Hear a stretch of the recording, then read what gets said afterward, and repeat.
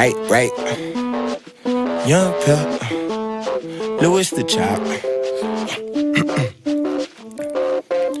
In 1992, I came out the womb winning. 1999, I was black on both sides. Still had my teeth. First concert NSYNC. Papa bought me G Code, just a juvie with some meat and let them old folks tell it how I grew up fast. School with them white folks, how I grew up black. It was a little Mike, I started killing every night. Round the same time, I started ghosting like a poltergeist. Puff, puff, passing no magic dragon, blowing fado. Thoughts kept flashing high so long. We jet lagging, destined for the fame. Young Jett Jackson, ah.